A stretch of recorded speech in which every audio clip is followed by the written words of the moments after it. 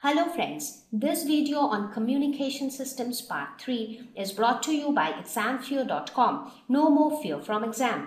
So let us look at the important elements which form a communication system. So what are the elements? So here we are talking about the most important and the basic elements which are needed to form a communication system. So what are those elements? Transmitter, channel, and a receiver. So these are the three basic constituents of any basic communication system. So let us try to understand what are each of them. What is a transmitter, what is a channel and what is a receiver. Now as I mentioned before also, whenever I talk about communication, it is some information being carried from one point to another, right? So the information is to be carried from a source to a destination. For example, if I am talking to you, so I am the source because I am the one who has some information to share. So I am the source of information. You are the one who is receiving the information. So you are the destination. So my information should reach you. Right? So I am the source and you are the destination. Right? So now let us see how what are, what is each of them and what is their purpose.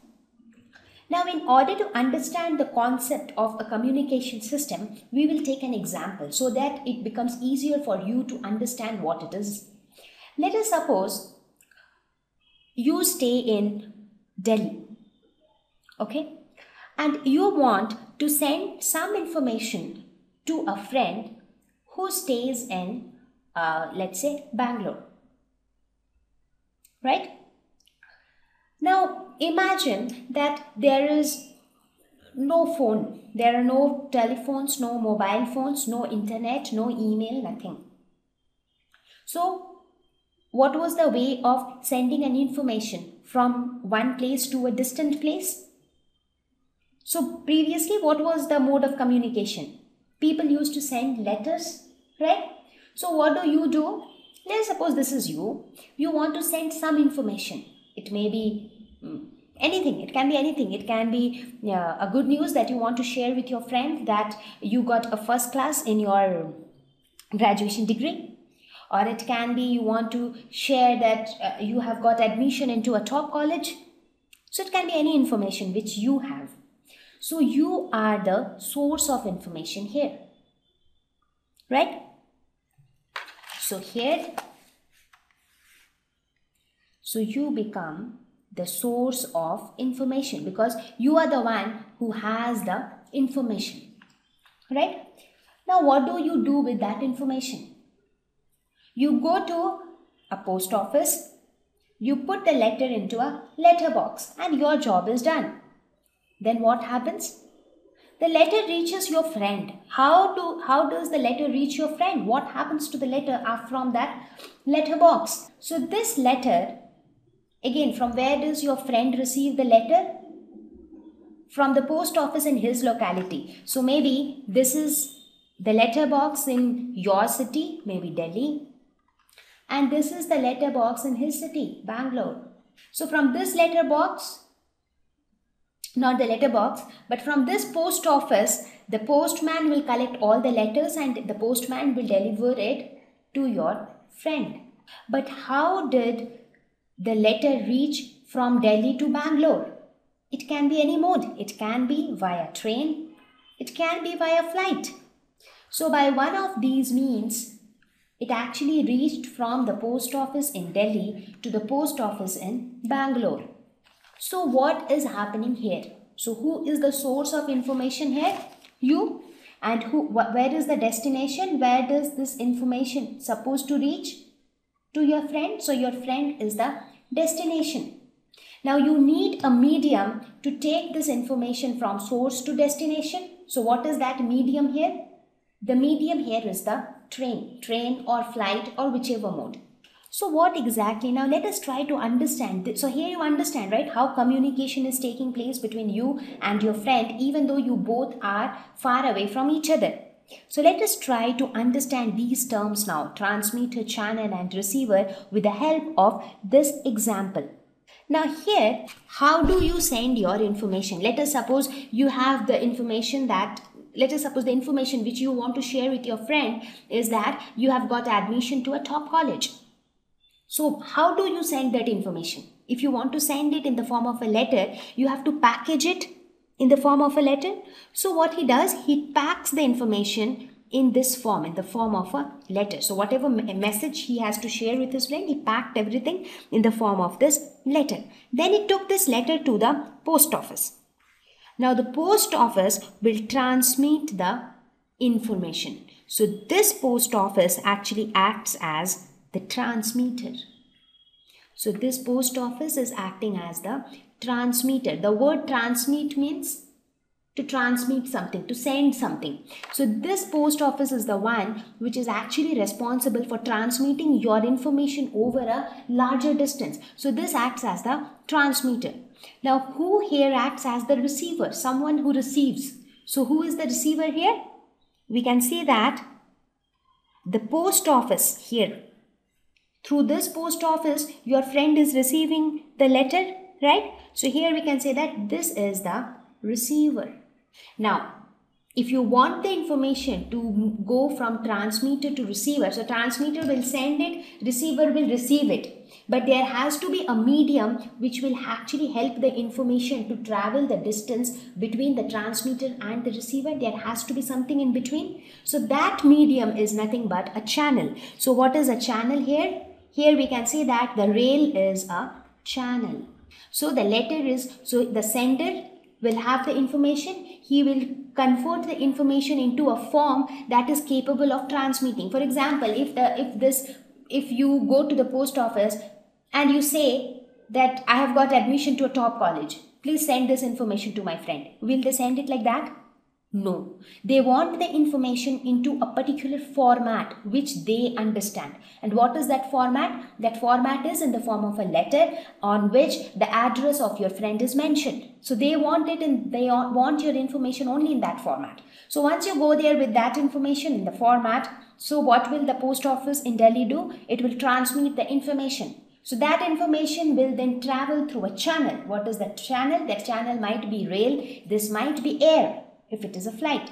Then it will reach the receiver. And the, who is the receiver? The receiver is the post office in Bangalore. Now, once the receiver receives it, then it will take out the information. What was the information? It was only the letter.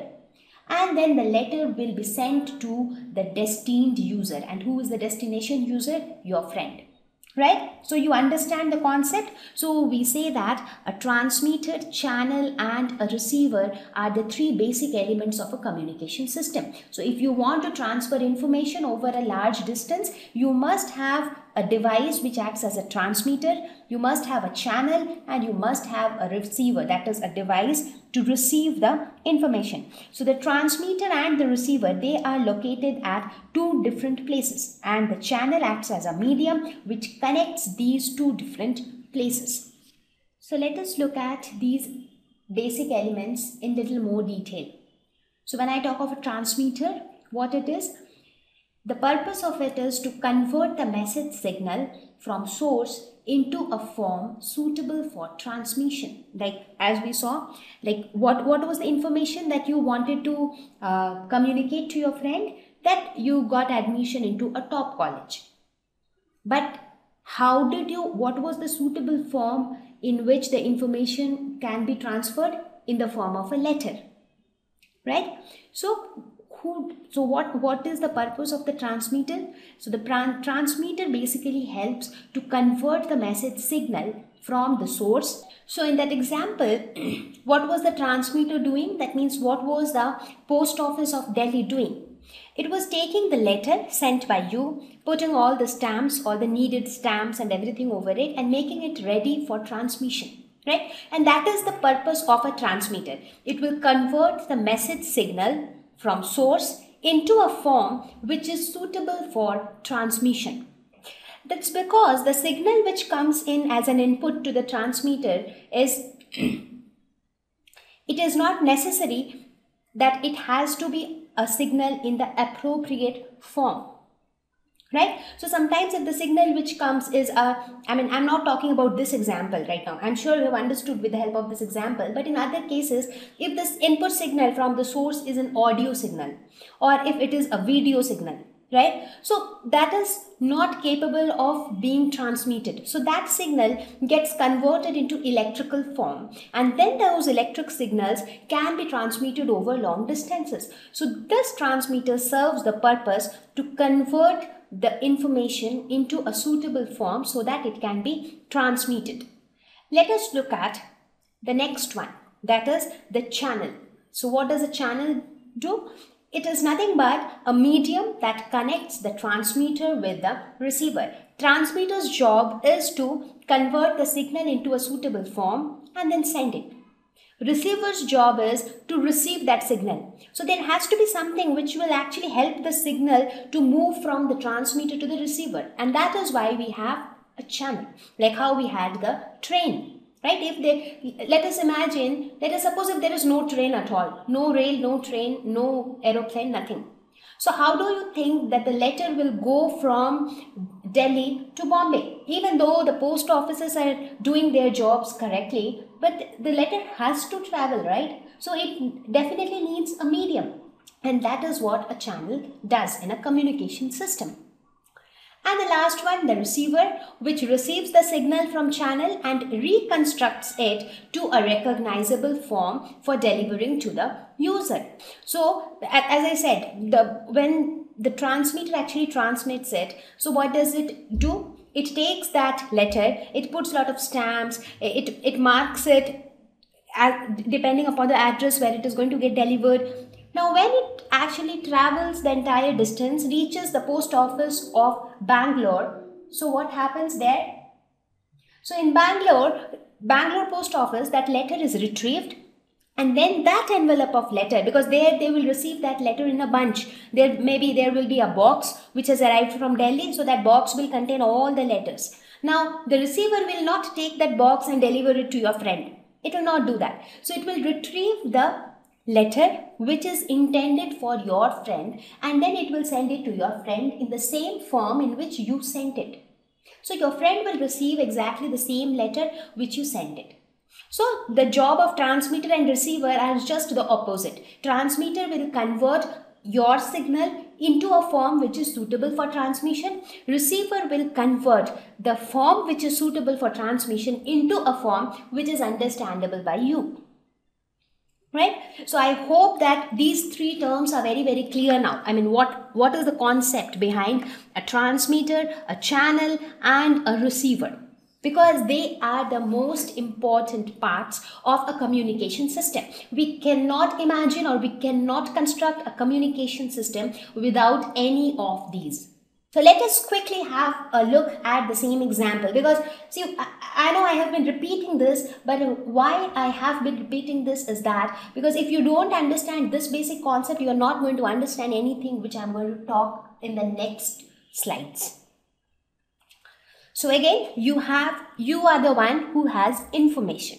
Who are you? You are the sender. And what is the information?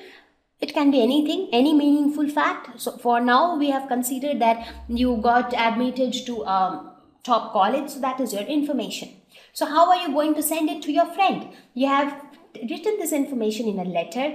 Put have put your friend's address. You go to the post office post the letter so what is the post office? It is nothing but the transmitter because it will convert this letter into a form which is capable of being transmitted. And what is that form? It will put all the necessary stamps. It will pack all the letters in a big box and then it will transmit. Now for this to reach the receiver which is in a distant place, what is needed? A medium is needed. So who will provide that medium? That medium is provided by rail right? So your rail acts as a medium. So here you are the sender, your friend is the destination user. The first post office is the transmitter, the second post office is the receiver and the rail is the medium or the channel. Right? So these are the basic things that constitutes any communication system. Thank you. Please visit www.examfear.com to watch more videos, attempt free online test, get free study material, find tutors and mentors. Thank you once again.